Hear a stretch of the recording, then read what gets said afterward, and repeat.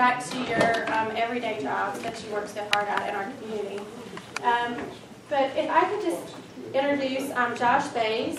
He is with Site Selection Group. Uh, the Valdosta Lowndes Development Authority hired um, Site Selection Group to take a competitive analysis of our community um, from an economic development perspective. Um, Josh has experience in site selection, and working with communities, and I'll let him tell you a little bit more about himself, but we're glad to welcome him to Valdosta Lowndes County and looking forward to hearing what he has to say. So thank you, Josh. Yep, thank you very much, I appreciate you having me. Um, To kind of give a little bit of introduction, I'll, I'll talk about um, my background and our firm a little bit, and essentially what we did for, for the county and Valdosta, as well as some of our, our key takeaways from that. But I have a pretty informal style of presenting, so I'd rather this be a, a dialogue. If anyone has any questions or discussion topics, please feel free to, to raise those. At the end, we'll try to allocate a little bit of time to discuss some of this stuff and, um, and, and me be able to provide some feedback. So who's Site Selection Group? So Site Selection Group, we're a, what we call a corporate location advisory firm. We're headquartered in Dallas. We have roughly, I think, 32 employees now. Um, 90% of our work are helping companies find optimal locations for either their labor or capital intensive projects. So we have kind of two types of projects that we work on. One is what we call professional services, that's call center, back office, shared service, corporate headquarter type projects. And the other side is industrial, manufacturing and distribution. I'm a principal over the industrial side of business, so I exclusively work with manufacturing companies, distribution companies finding their, their next home. Um, we offer three fundamental services to clients. One is location advisory, so that's the consulting behind making sure they're choosing the optimal location. You know, that's driven by workforce, logistics, utilities, infrastructure, real estate, business environment, economic incentives. All of those factors shape the decisions or influence the decisions that our, that our clients are making. The second is we offer a full slate of economic incentive services. So on behalf of companies, we're identifying, negotiating, securing, and helping with the ongoing compliance of economic incentives for their project. And much like incentives, we offer a full slate of real estate services, so identifying, negotiating, and securing real estate. Um, so those three services, this is kind of our value proposition. When a company hires us, we're going to find them the optimal location, we're going to maximize leverage from an economic incentives and real estate perspective, and then we're going to help them with the ongoing compliance, specifically for um, economic incentives. On the industrial side, we typically do anywhere between 30 and 40 projects a year. Um, I spend probably three days a week on the road in various communities, usually with a client in tow, touring that community as they're evaluating it uh, for their particular project. So I mentioned 90% of our work is corporate work. Um, the other 10% of our time, from time to time, communities or states or electric utilities or whoever it may be that has an economic development function will hire us to provide an objective assessment kind of through the corporate lens, basically using the same practices we use for our corporate clients, adapting it and giving objective feedback. So that said, I've never worked a day in economic development. Um, I've spent my entire career in corporate site selection, and so that's really the perspective I bring. So as I talk through some of this stuff, what we did here in Valdosta, it's basically employing a lot of the same principles we would use if we were evaluating Valdosta on behalf of a, of a corporate client. That's what Compete Now is. So Compete Now is just, uh, it's a term we've coined to, to coin some of the economic development um, services that we offer. So if you look at the site selection process, um, to the extent there is a typical process, it's going to follow something like this, a six-phase filtering process. So site selection is actually, um, the, the term's counterintuitive. The process is actually a deselection process. It's a, it's a top-down. You start with everything, you whittle down until you find the optimal location. And that's essentially what this process is. I mean, like most consulting engagements, when a company hires us, we're spending a lot of time on the front end of the project, understanding their needs and all of that. And then we go into a community filtering exercise. And that's literally where we're taking, a typical project for me comes and says, we need to be east of the Mississippi River and south of the Mason-Dixon line. Um, go. In that second phase, that's where we take that entire geography and try to identify the maybe 10 to 12 good candidate options that warrant a comprehensive analysis which is the third phase. Um, in which we do a thorough comprehensive analysis with the objective of getting down to two to three communities uh, to, to go conduct what we call tours and on-site due diligence, where we come spend a full day in each community, um, accomplishing all the things needed to make a decision, which leads into negotiations from an economic incentives and real estate perspective. This exercise for Valdosta, we essentially kind of touched on three portions of this process. One, we did a community filtering exercise to see how Valdosta ranks in the initial phases of a site selection process. And the reason that's critical is because during that process, very rarely are communities ever engaged. So they're basically being evaluated and with no or lim- limited interaction.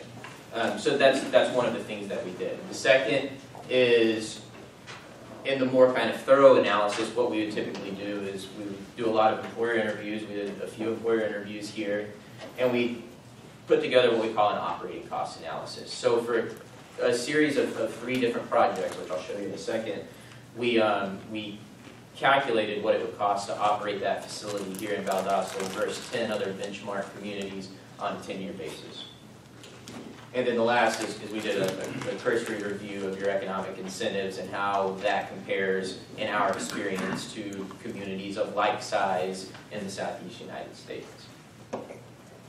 Um, we did these things making kind of three fundamental assumptions or three mock type projects. One was through the lens of an advanced manufacturing project. The second was through the lens of just your general assembly, general production type project. And the third was a shared services IT type project. And so we tried to make sure they were realistic to what a project that would be interested in Valdosta would be representative of the project specs of that.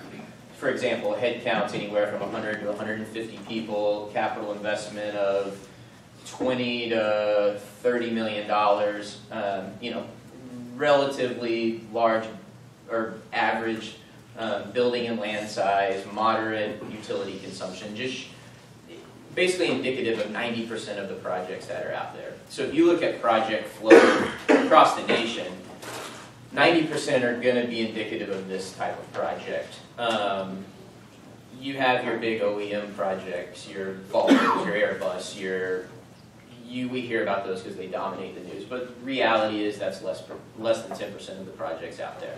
And so even though every single community would like to have something like that in their backyard, we had to be realistic when we assessed this. And so we looked at it through these, these three lenses. And I'm going to skip some of this stuff isn't as, uh, isn't as relevant this. This is really hard to see, um, so I'm just going to articulate some of the stuff that's on this slide. The very first thing we did is what we call, we built what we call a community filtering analysis. And that's essentially where we take every single metropolitan and micropolitan statistical area in the country, there's 940 of them, and we score and rank them based on weighted site selection variables. We built three versions of this model based on the three projects you just saw. The weightings you see up here happen to be for the advanced manufacturing one. But essentially, we scored every single community based on a host of labor availability metrics, labor cost metrics, and business environment metrics. So under labor availability, that includes things like labor scalability, how fast can you scale a workforce, target occupation presence, industry presence, education attainment, age characteristics, income, uh, college and university presence and output, um, and then labor costs, obviously wages and salaries and some of your income statistics. And then business environment, your tax climate, organized labor environment, as well as utility costs. And so when we're doing this, doing projects for a corporate client, this is usually kind of the first step. The idea, the, the goal or objective of building a weighted site selection model like this isn't to necessarily choose the ideal location. It is to eliminate the stuff that just isn't going to work and identify maybe 10 to 12 communities that warrant an on uh, more comprehensive type analysis. When we built this for the advanced manufacturing, um, and, and by the way, the reason that we built this community filtering analysis for Valdosta is because we needed to identify a, a dozen or so competitive communities to benchmark it against as we did some of these other analyses, and we wanted to make sure we were choosing some more of the competitive locations. Um, when we did this, this slide essentially shows how Valdosta scored. So you had kind of your three big categories, labor availability, labor cost, and business environment. Anytime you see an index of 100%, that's average. So we set average at 100%. Anything above 100% is more favorable than average. Anything below is, is less than favorable. Across the board, as we walk through some of these, you'll notice that the community scores very well from a cost perspective, especially a workforce cost perspective, as well as a business environment. It scores incredibly favorable. On some of these more specialized projects, like in advanced manufacturing, it doesn't score as well from a labor availability. So what I'm suggesting is, if we were doing this on behalf of a, of a, of a client and looking at, you know, we had a 150 person advanced manufacturing project that needed to hire engineers and specialized talent, the odds that that project would have engaged the community or, or Andrea's organization to keep going are relatively low. And it's mainly because of this labor availability metric. We did that for, um, you know, just a general assembly type project, and the fundamental difference between an advanced manufacturing project and more your just general manufacturing is the need for specialized talent. Um, you know, most advanced manufacturing operations have an R&D component to it. They employ engineers. They employ more, a higher level of professional talent.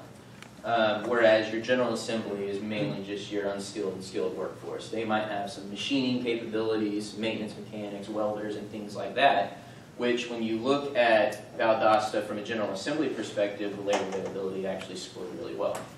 Um, and that's not too surprising because if, if you take a tour around the community, which I did this morning, spent a couple hours driving around with Andrea looking at the existing industry, that's very indicative of, of what you have here already. Um, we also did this from a shared service IT type project, and Valdosta actually scored really well across the board on this as well. Um, so when you look at these kind of three types of projects, it, basically what we were trying to do is demonstrate where your competitive strengths might be. Um, I'm suggesting today, as the community assets sit right now, it's more for your general assembly and shared service type projects than it would be advanced manufacturing. Now that doesn't really come, that, that probably shouldn't surprise a lot of people, and I can explain later on um, why that is and, and what can be done if, if attracting these more high-end projects are a priority of the community. And, and it might not be, um, but it's, it's, it, whenever I'm doing this, the even when I'm touring communities with, with companies, the biggest mistake I see communities make is not understanding what their target market is, not understanding what's realistic types of projects for their community and expending resources trying to attack the wrong type of project. And that's essentially what we're trying to do here.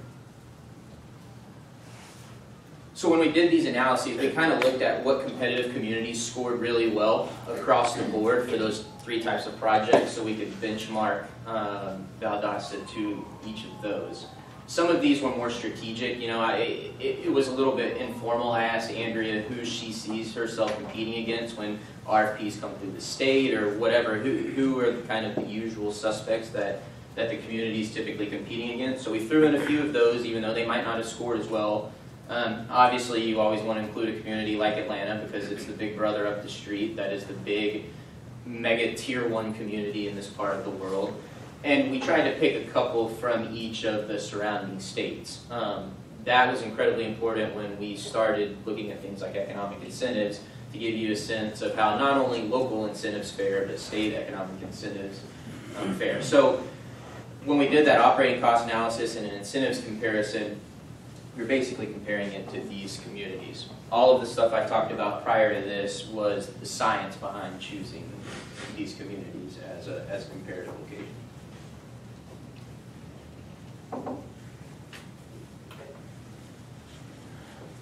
So in operating cost analysis,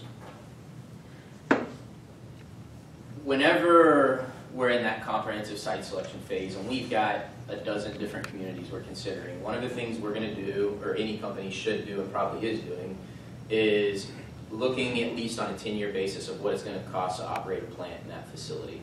So that's taking everything into consideration, wages and salaries, benefits, training, utilities, transportation costs, tax, climate, real estate, all of those things and integrating it into one cost model. Based on those project criteria I shared with you earlier, we did three versions of this operating cost, so you can understand the cost advantages that Valdosta might, might, um, might give to a, a particular prospect. And the reason that's important is because most communities know my wages are a dollar cheaper, or I can shave a cent per kilowatt hour off my electric rate, or my tax rate is this percent less than my neighbor. But very rarely do they take the time to put together an integrated cost model and understand where those savings actually are. If you look from an advanced manufacturing of all of those communities that we compared, and I realize this is really small, the only number I really want you to focus on is this number right here, is 9.52%. The most expensive two eh, were Lake City, Florida, and Atlanta, Georgia, for this particular type of project. And what I'm suggesting is a company just by locating here can save 10% over those two on a 10-year basis on a, on a fully integrated model can save 10% um, across the board. For a General Assembly, it was about 9%. Um, out of all of those competitive locations, this was the lowest cost option. And that wasn't by design. We didn't, we didn't intentionally choose expensive locations to compare it to. That's, matter of fact, we actually did the opposite. We tried to find very competitive locations. Um, and so it- basically nine percent. And then on shared service healthcare IT, it was actually twenty percent. And the reason is, is if you look at the cost structure of more of your professional service type projects as opposed to your industrial, labor costs make up the biggest proportion of that, whereas that's one of the biggest advantage of a community like this. And so it, it impacts savings significantly.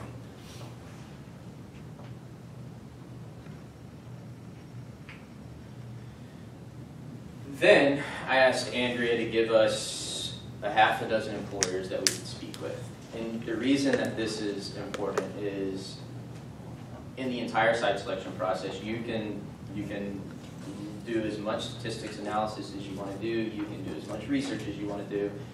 At the end of the day, if employers aren't advocating your community, you're fighting an uphill battle from an economic development perspective. Whenever I see companies make location decisions, it's usually because of the endorsement of local employers. They put their testimony above anything else in this entire site selection process. And so, since we kind of limited the scope of our engagement, one of the things I insisted on is let, let us do a few employ, uh, employment interviews, because that's a very cost-effective way for us to come in and get the pulse of a community um, relatively quickly and relatively accurately. And if the perception of the employer isn't really indicative of what's going on in the community, it's still relevant because that's what you would be judged on by companies that were evaluating the region. So we had, we were set up with half a dozen proposed interviewees, only four um, four agreed to, to speak with us. It was SAF, it was, they were. Um, it was, it was two manufacturers and two distribution. It was CJB, SAF, Second Harvest, and Smith Drug. Um, and so, you know, we have a very standard employer interview questionnaire we go through that covers everything from workforce to education to operating environment, just understanding their overall experience of operating um, in the community. The people that we spoke with is actually a really good cross section of, of presidents of companies who have operated here for 20 plus years and people who had just moved here and giving us kind of their initial impressions of doing business here for only a couple of years.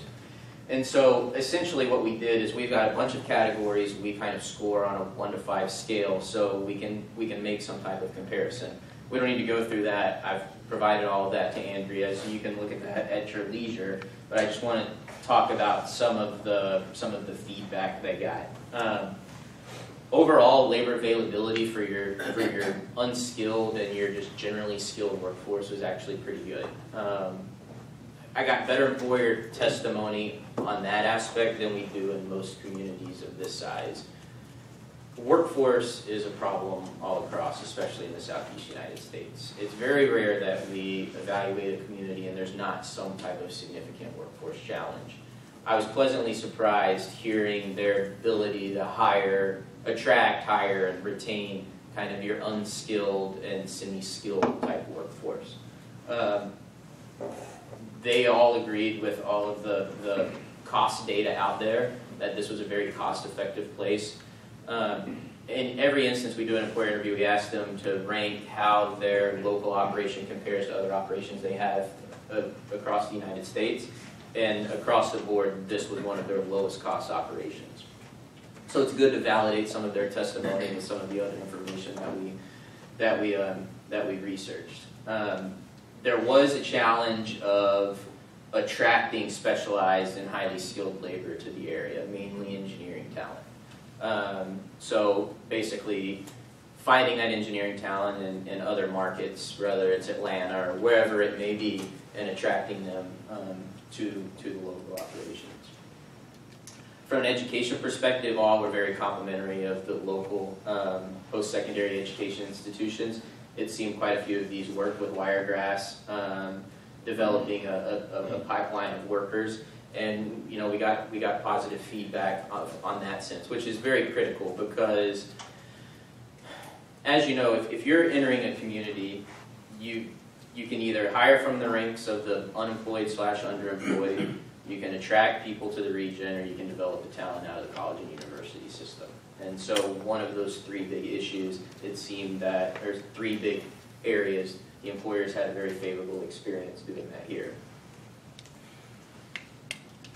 Operating environment, again, low operating environment or low cost structure. Obviously, transportation and logistics is one of the big assets of the region. We, we all know that. Don't need to, to spend a lot of time discussing that. Good rail access, access to ports. I mean, everybody knows where, where you sit on a map.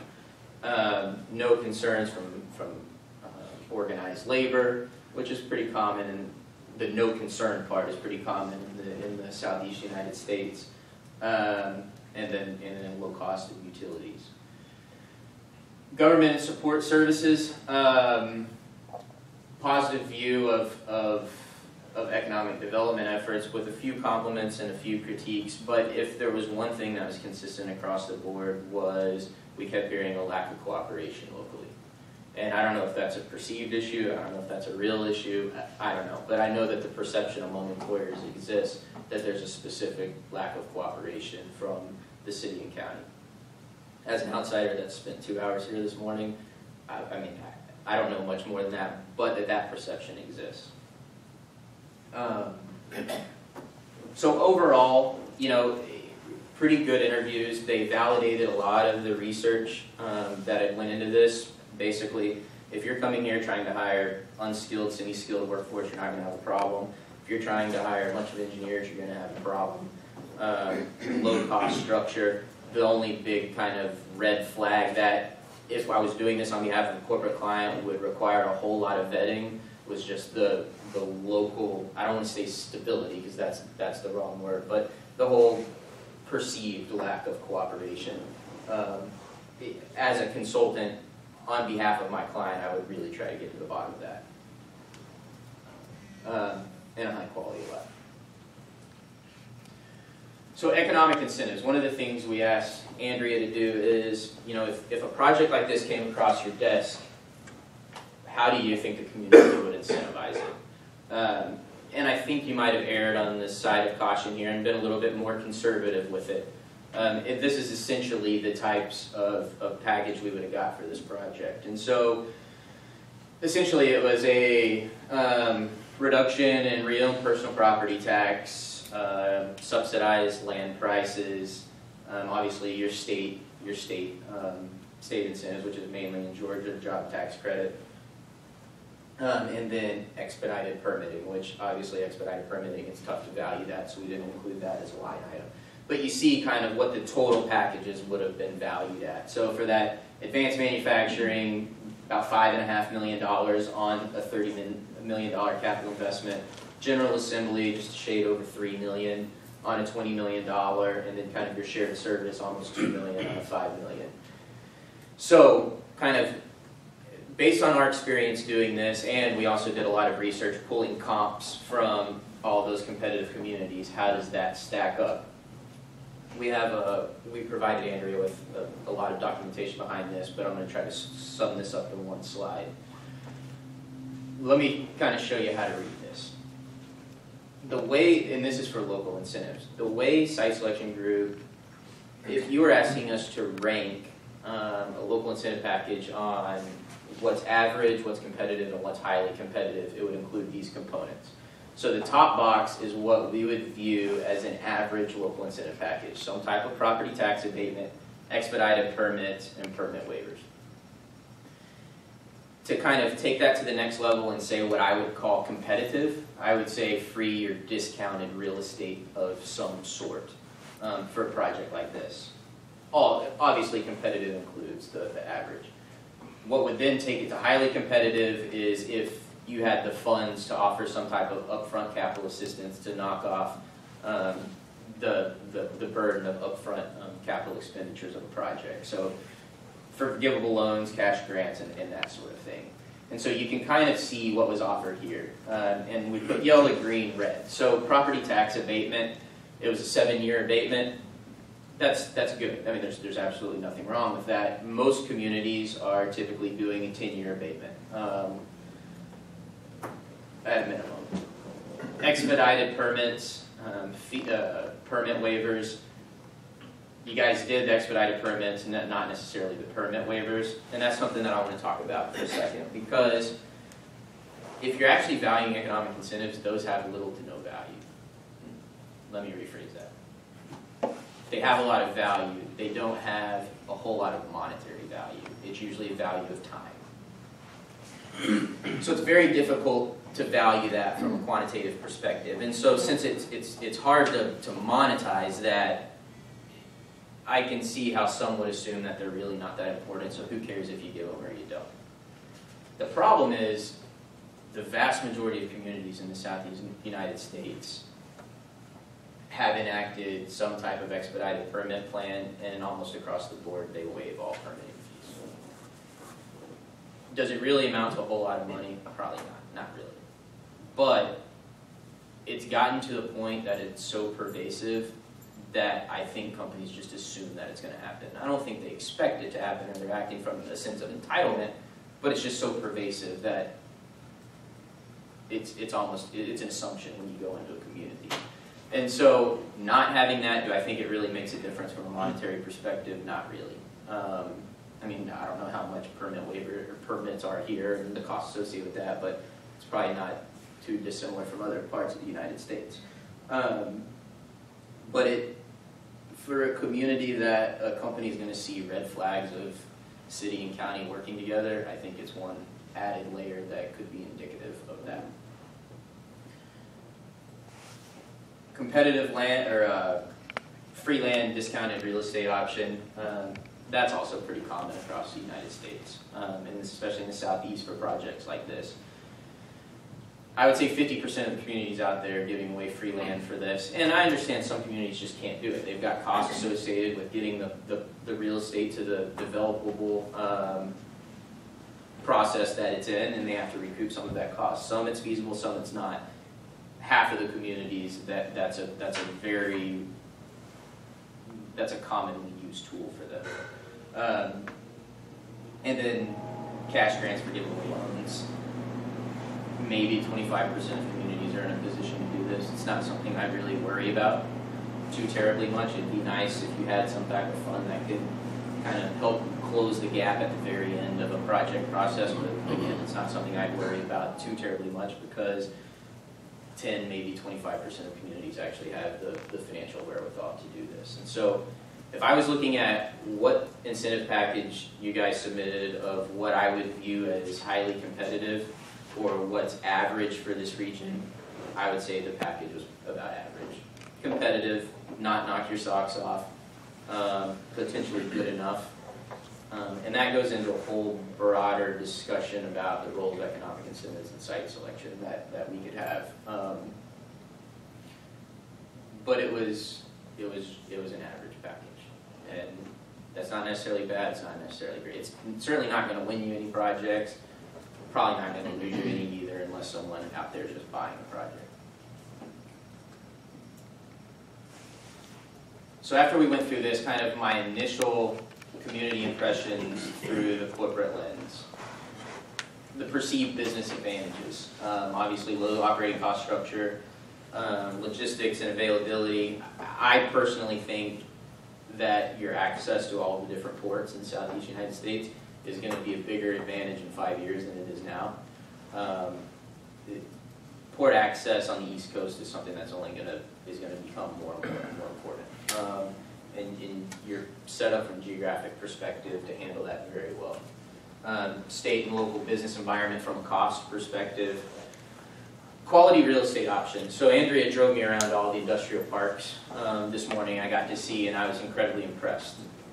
There's not many communities this size that have as much shovel-ready developable industrial land as you guys have. I can tell a lot of money's been spent over the last several years preparing a lot of those assets. Um, I, I was very impressed with that. And then post-secondary education presence, I mean, you have twenty thousand plus college students here. Um, Perceived concerns, so especially when we talk about projects like advanced manufacturing and some of those higher-end projects. Um, Lack of engineering talent. So, again, I'll go back to it. If, if you're a company and you've got to hire a significant amount of, of engineers, and almost every advanced manufacturing project does, you can either hire from the unemployed or underemployed. The fact is, there's not a lot of those currently employed here. The occupation presence is, is very low. You can recruit talent to the area. Every single employer we talked about said it's gonna, it's difficult to recruit talent here. They love it once they, I mean, just most small communities like this, once you get them here, they love it and they're lifetime residents. But getting them here is a challenge. Um, and the other is developing them through the post-secondary pipeline. Well, right now, none of your post-secondary institutions offer any of these degrees that I'm aware of. We looked at completion statistics and they're mostly focused on business programs, liberal arts programs and things like that. You know, Wiregrass does have some precision production and some maintenance, um, mechanic and repair type programs, but by and large, kind of that high-level professional services, engineering type talent, it, it's not being developed here. So if you look at those three prongs, none of that's going on here. Um, and that would be a concern for a, a high-level project. Your overall workforce availability metrics, and there's something specifically I want to talk about here that was puzzling to me. You have 20,000 college students in, in right here. Your population is 140,000 in the MSA. That's a pretty high, if from a relative perspective, that's a relatively high amount of college students per population, especially for a community this size. But when you looked at education attainment, education attainment skewed towards high school and less than high school more than your average tier four southeast United States community. So basically what that's suggesting is none of college students are staying here. Um, I don't know that, but that's what the data suggests. So if I was hired on behalf, that would be another thing that I would spend a lot of time trying to really get to the bottom of that. Um, difficulty recruiting talent, we talked about that. Um, the perceived lack of coordination, and then average economic incentive offering. And I put the economic incentive offering at the at the at the bottom. I'm one of the rare. Let me rephrase that. We are one of the rare site selection firms that we don't really put as much of an emphasis on economic incentives as a lot of others do because economic incentives are meant to be used to draw a fine distinction between two very good communities that will satisfy you from an operations perspective. Um, and so, if I'm ranking these uh, in order of, of how I perceive the, their concern, they're, they're ranked probably adequately. At least economic incentives at the end is, is certainly reflective of that. That being said, I've got some other kind of support slides if people have questions or want to, want to discuss a lot of this, but I'd really just kind of like to have a discussion, and clarify anything that we've talked about, talk about any issues, um, you know, that the community is facing that we could potentially shed some light on, or anything anybody wants to talk about. Jack, I have a question.